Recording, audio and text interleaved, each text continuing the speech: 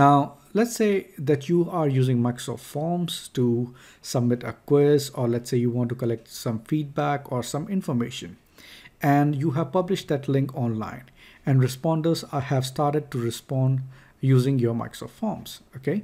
Now, as soon as you receive a response, you want to send an email to the responder. How you can achieve that by Power Automate, we are going to discuss that in this video. So keep watching and stay tuned. Well, if you have been following my channel, um, I usually post uh, videos quite regularly on topics related to Microsoft Dynamics 365. And on daily basis, I get a lot of requests and communication. So what I decided is that I need a, a feedback mechanism, or at least uh, to my esteemed subscribers, uh, you know, provide them with a link where they can submit their request, and based on that, I can create my upcoming videos, right?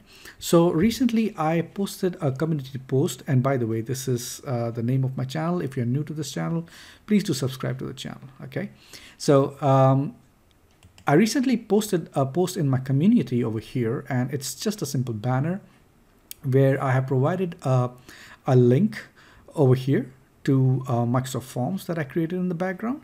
And either people can use this link or they can scan, if they're using a phone, they can scan this QR code and start filling up the application. So for example, if you click on this link, it will take you to this particular page where this is created in Microsoft Forms and it's a simple uh, you know page where I ask about the name your email which uh, the you know the video that you're requesting for what is it related to? Is it for um, 365 CE Business Central FinOps Office 365 or something else?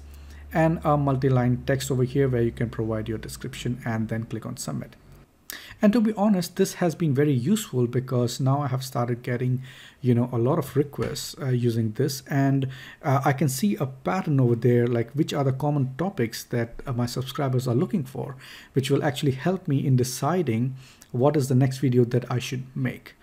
So I also wanted a mechanism where as soon as a responder or response using this form, um, I should be able to send an email automatically, um, you know, for a confirmation saying that, hey, we have received your uh, submission and this is what you have submitted.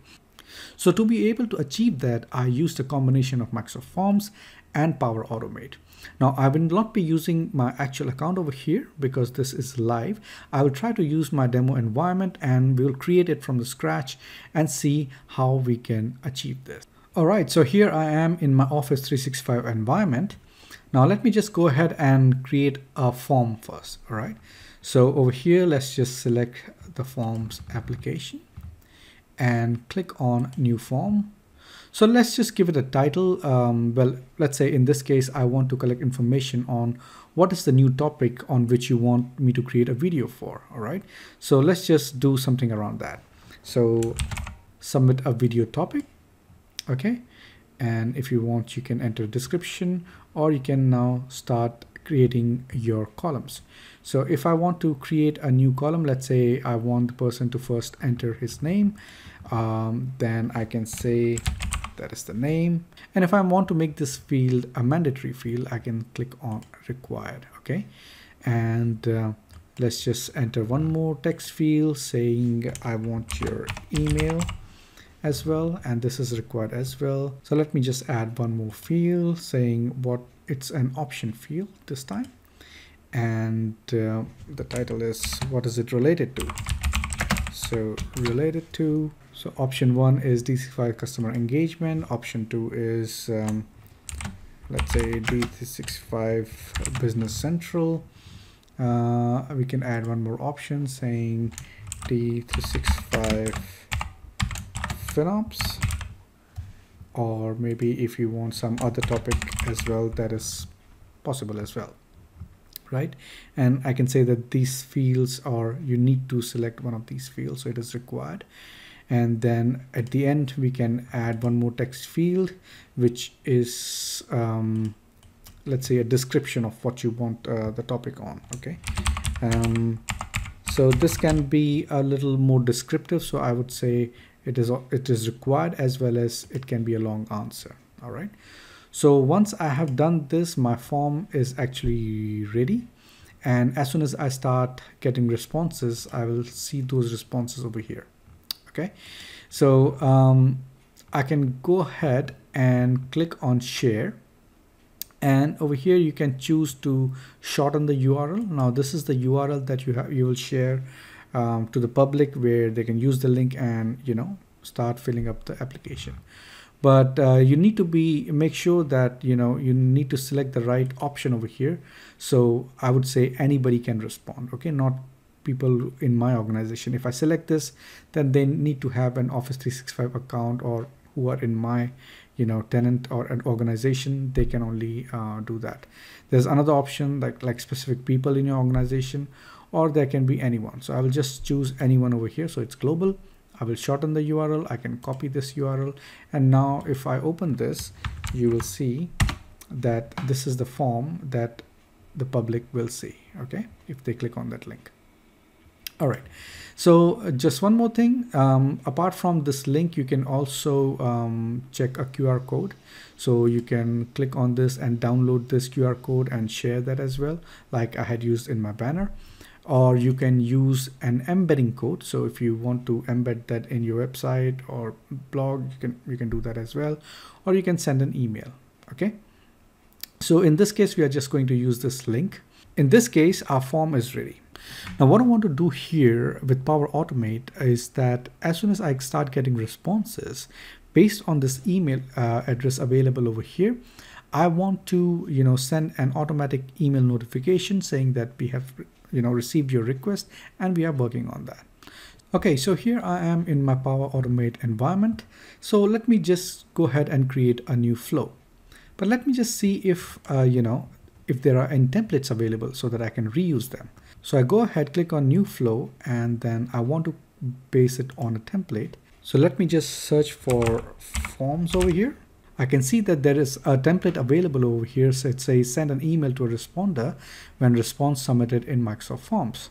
So I can just reuse this and tweak it a little bit to uh, you know achieve my goal. So let me just click on this. And here you can see that the template is already available. All I need to do is provide the necessary credentials for these connectors. So if I click on the add sign, this at the moment will automatically um, take the credentials of uh, you know the Microsoft Office account that I am uh, you know signed in as. That is the admin account over here. And if I choose to add my Outlook account it will take the same account as well.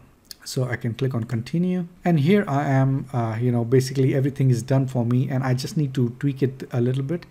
And uh, most of the things are already there. And what I can do is uh, just edit this in this flow designer. So let's just go with the first step when a new response is submitted using what? Using the form that we created, all right?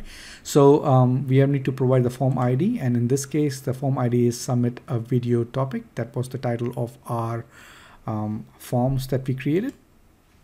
All right, so that has been selected. So as soon as um, the response is collected from here, so we need to get the response details. So in this case, it's the unique identifier of the form and we can select the form ID again. And over here, a dynamic um, field has been selected for us as a response ID. Then it checks a condition if the response is not equal to anonymous. Well, in this case, um, let us just say email is not equal to anonymous.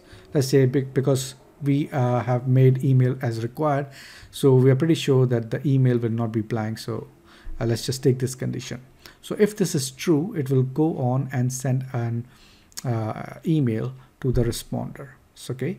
So in two, it has taken the responder's email ID. So what this is, is uh, the responder's email and in the subject so in this case we can just change the subject to thank you for your submission uh, made on let's say submission time okay? So we have some default configuration in the body but we do not want that. Well you can actually go ahead and create a fancy HTML response but we would like to make a very simple um, body over here. So let's just say I would say dear um, the subscriber name or the responder's name.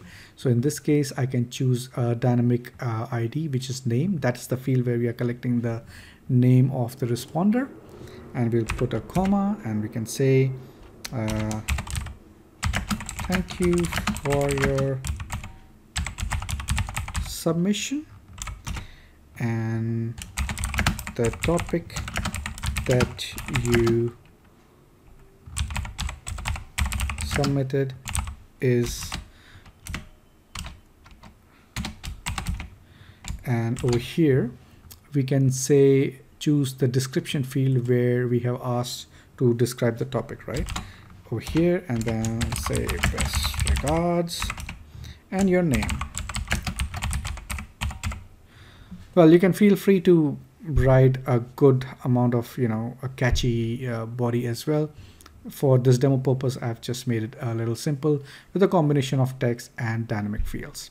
Uh, well, additionally, you can also click on show advanced options and you can do some advanced things like you can provide, you know, send as CC or uh, BCC copy. You can add some attachments as well and reply to, let's, let's say, for example, this email will go uh, using my office account that I have provided credentials for.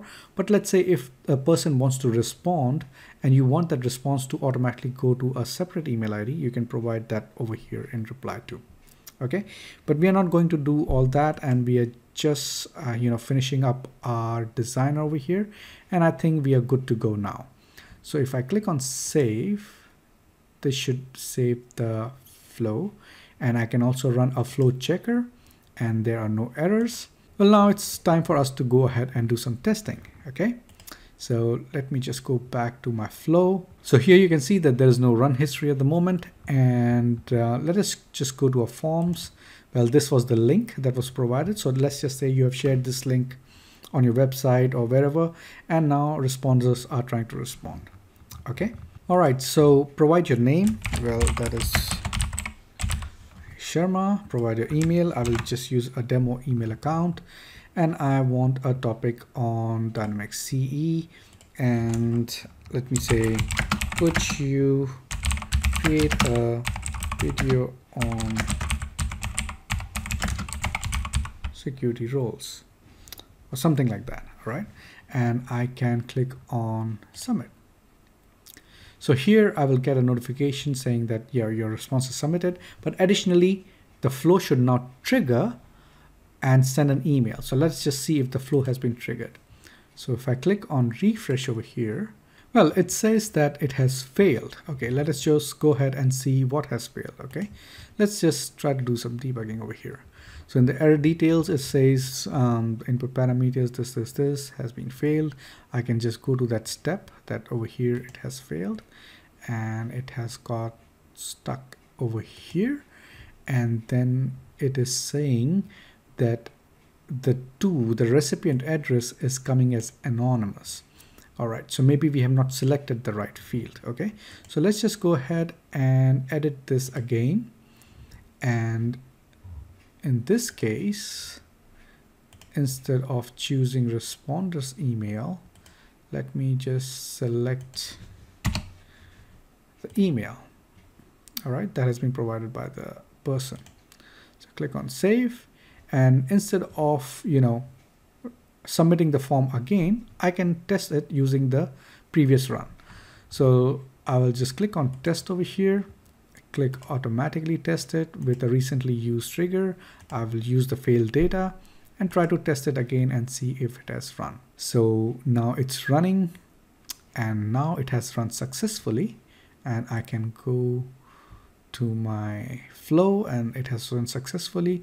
You can see that the response that I had submitted um, through this email and everything. Well, the flow says that email has gone through, but let us just go ahead and check our email that we have provided. So in this case, I will just click on my email account and see if I have received a thank you email. All right, so over here we can see that we have received a automatic response based on the flow that we created. So it has responded to the same email ID that I had provided on the forms and it says dear my name, Paresh Sharma. Thank you for the submission.